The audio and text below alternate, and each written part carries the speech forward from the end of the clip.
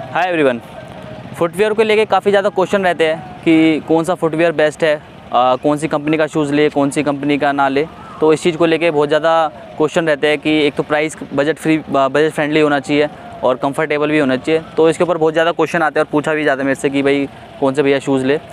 तो शूज़ सारे ही अच्छे होते हैं। मैंने ए का भी यूज़ किया न्यू बैलेंस का भी यूज़ किया है एडास का भी यूज़ किया है प्यूमा का भी यूज़ किया है। बट मेरा जो पर्सनल फेवरेट है वो एडिडास का है जो मैंने अभी मंगाया भी है वो आज ही मेरे पास डिलीवर हुआ है वो मैं आपको दिखाना चाहूँगा।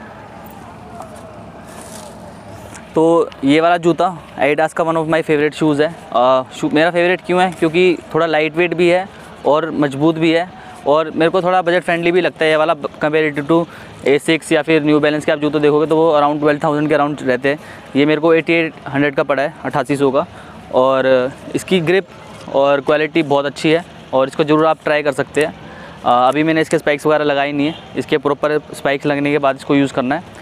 और अगर आपको ये बाय करना है तो मैंने अमेज़ोन से मंगाया है। तो आप इसका जाके वीडियो में इसका बाय लिंक जो लिंक है वो देख सकते हैं, मैं उसमें डाल दूँगा। तो वहाँ पे जाके इसको आप परचेज़ कर सकते हैं। बहुत अच्छे क्वालिटी का शूज़ है और इस पर ज़रूर आप ट्रस्ट कर सकते हैं। बाकी ये ट्राई एंड हिट करने वाली बात होती है कि भाई आप ट्राई करके देखते हैं कौन सा जूता आपके पैर में ज़्यादा अच्छा लग कम्फर्टेबल बैठता है। ए सिक्स वाला जूता अगर मैं अपने पर्सनली फील करूँ तो वो मेरे आगे पैर में काफ़ी ज़्यादा लगता है। और ये वाला जूता मेरे नहीं लगता। तो हर प्लेयर को पहनने के बाद ही पता लगता है कौन सा ज़्यादा शूज़ कम्फर्टेबल है।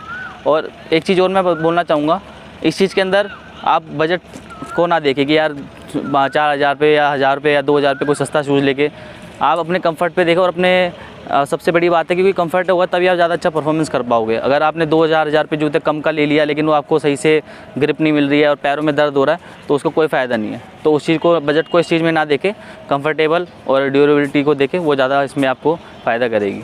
तो ऐसी वीडियो अच्छी लगी हो तो लाइक ज़रूर करना सब्सक्राइब करना और शेयर ज़रूर करना। Thank you so much